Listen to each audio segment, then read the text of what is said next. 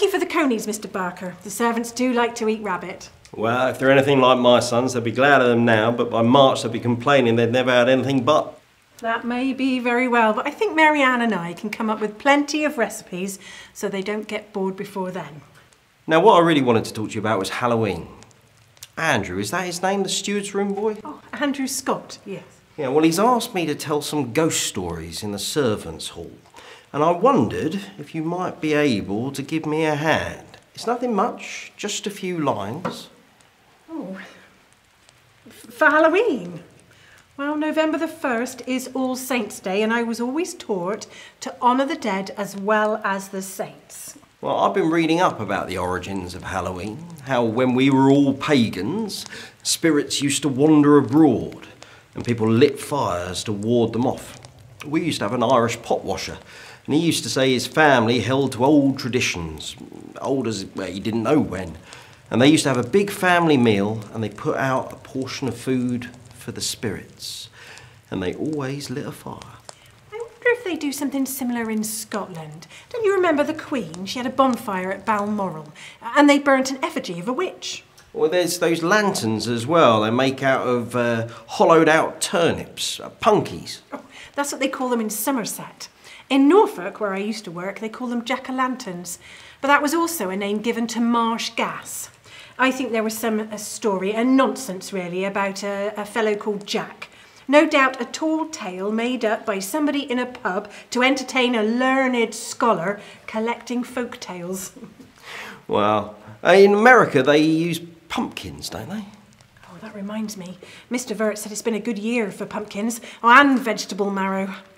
I do find it difficult to find recipes for them. They're so um, watery. Didn't you make a pie out of them with apples? Oh, that was with pumpkins, yes, my pumpion pie. It's a rather good recipe. Now, Mary Ann was telling me where she comes from in North Yorkshire. uh, Their children would go out looking for soul cakes. They travelled the village uh, looking for cakes, uh, soul cakes. Although she did say that last time she went to visit her parents at this time of year, uh, they don't do it as much as they used to on account of the children having to stay at school for longer. Well, I would welcome a cake or two if they were made under your watchful eye. I'll see what I can do, Mr. Barker. Well, shall we have a look at this? Um, who, who am I to be? Oh, I thought you could play a cook called Margaret. Margaret. So I can just be myself. Well, if it suits, shall we have a go? Right. Now, all this happened when we were preparing for one of his lordship's shoots on another estate. Up north it was, pleasant, heathery countryside and decent shooting. Now, I was staying in a spare room in the servants' quarters, and their cook, Margaret, took me under her wing and made sure I was well fed. Now, we arrived while yet the daylight lingered, and whilst their lordships were at dinner, I went for a, a ramble about the estate. Now, the house and the gardens faced to the south, and they looked over a few acres of pasture land down to a little winding stream that was beside a little thatched cottage that had its own vegetable patch, and it was clearly on the grounds of the estate, so perhaps a gardener's cottage.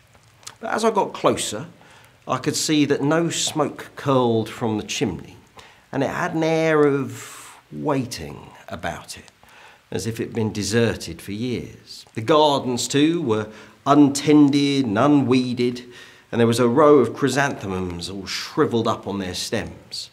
Now, the winter sunshine faded fast in the twilight, and the whitewashed walls gleamed in the gloaming.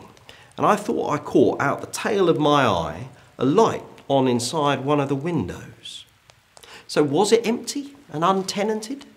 As I turned back, I realised it had been a trick of the light, perhaps a pane of glass reflecting the sunset, because it looked desolate and deserted. Now, as I looked at it, I couldn't help shake the feeling, something uncanny, that there was actually someone there. So I went through the garden and I knocked at the door. But no one answered. Of course, no one answered. I chided myself that I'd been like a, a man who looks under his bed for a burglar and would have been beyond measures surprised if he'd actually found one. Well, I returned to the house and I had my dinner with Margaret, made by her fair hand. And afterwards, she got out her favourite pastime that she'd picked up off the mistress of the house. It's called a planchette, and it speaks to the dead. Does it work? Well, it says things that are never entered my head. You let the pencil write what it chooses. Very often, it only makes swirls and curls, and every now and then, a word appears. Yesterday evening, for example, it wrote gardener over and over again. Now, now, what could that mean? The gardener here is a Methodist with a chin beard. Could it have meant him? Well, that little cottage down by the footbridge, is that the gardener's house? Oh, it used to be, but the chin beard fellow doesn't live there. In fact, nobody lives there. It's empty. Why do you ask? Just curiosity, idle curiosity. I don't believe it was. Well, I saw it and I thought that it was empty, and then I had a strange feeling that there was somebody there. So I knocked and I walked around the house. Uh, and there was no one. It's odd. I had just the same feeling as you. There's your answer of why your planchette's saying gardener again and again. You're thinking of the gardener's cottage. How ingenious. A mystery solved. Well, I went upstairs to bed, and as I went to my room, strong gleam of moonlight coming through my drawn curtains made me look outside. My room faced the garden and that cottage beyond, and as I looked at it, I caught sight of a light in there behind one of the windows. And I thought it was strange that that same trick of the light should be presented to me twice in the one day. But as I looked, something even stranger caught my eye. There was a man stood there in front of the front door. Now, in the dusk, I couldn't discern his features. I just got the vague impression of a tallish fellow, heavily built. And as I looked, he turned opened the door, and he vanished inside. So, had my conviction been right that there was someone there? But I'd been distinctly told that the place was empty. So, was my conviction right that there was someone there? I'd been distinctly told that the place was empty. And if so, who was he who entered as if returning home? Well, the next evening, after the first day of the shoot, Margaret and I had dinner together again. And afterwards, she got out her planchette. And it started off making loops and curves and peaks, but then her head nodded forwards as if she'd fallen asleep. And suddenly, the writing took on a definite turn. And her hand jerked to a stop at the end, and she woke up.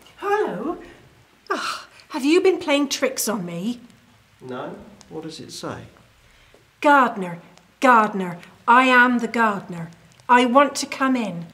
I can't find her here. Oh, Lord, that gardener again. I must have been thinking of the empty cottage. Empty, right. I didn't want to say to Margaret just then what I had seen, or at least what I thought I had seen.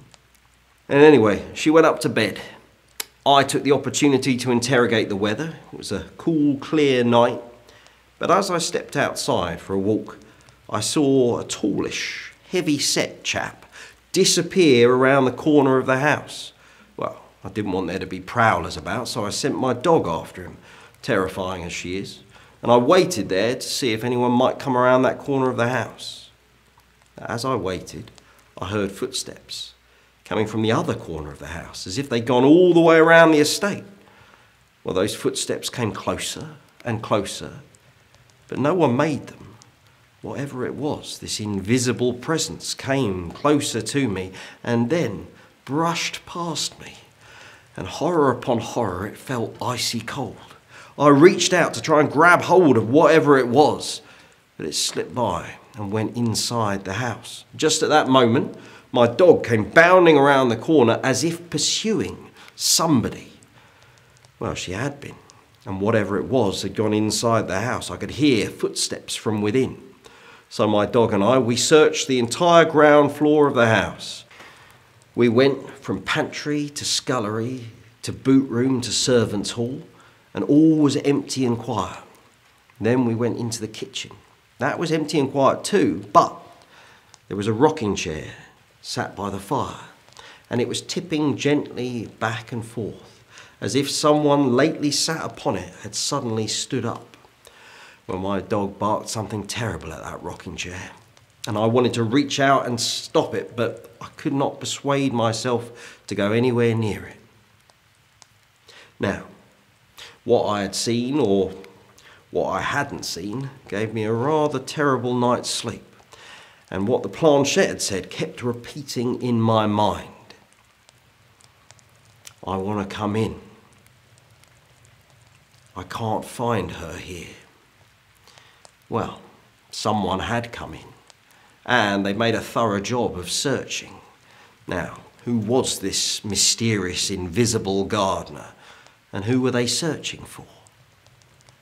Well, the next morning, Margaret had to go off down to town to make sure some particular ingredients were ordered correctly by her kitchen maid. When she came back, she had a flush of excitement all over her face. Never laugh at my planchette again. I've heard the most extraordinary story from Maud Ashfield in the village. Horrible, but so frightfully interesting. There was a gardener here some years ago, and he used to live in that little cottage. And when the family were away up in London, he and his wife used to caretake here. He married a wife much younger than himself, and gradually he became very jealous of her. And one day, in a fit of passion, he strangled her with his own hands. A little while after, someone came to the cottage and found him sobbing over her, trying to restore her. They went to the police, but before they came back, he had taken his own life. He had cut his throat. Isn't it all horrible? But surely it's rather curious that the planchette said, Gardener, I am the gardener. I want to come in. I can't find her here. You see, I knew nothing about it. I shall do the planchette again this evening. No, no, not, not tonight, Margaret. Oh, why not? You don't have to attend if you don't want to. Well, uh, anyway, I just ask you not to. You have got something on your mind. Out with it. I believe you're nervous. You think that there is something queer about. What is it? Nothing, nothing. Go ahead if you must. All right, just for ten minutes. And I promise you I won't think of gardeners. Well, no sooner had Margaret's hand touched the board of the planchette when it started writing across the page, her head tipped forwards as if asleep once again. And the writing scrawled out there across the plain white paper I have come in, and I still can't find her here. Are you hiding her from me? I will search the room where you are. And at that moment, an icy blast of wind blew through the place, and there was a thunderous smash at the door as if someone knocking. I turned to Margaret. Margaret, wake up. I think someone is at the door.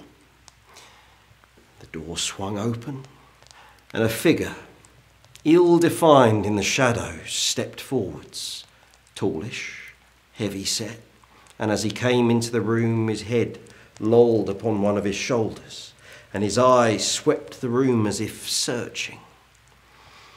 They were infinitely sad, his eyes, and Margaret, whose eyes were open now as well, was staring at this dreadful visitor.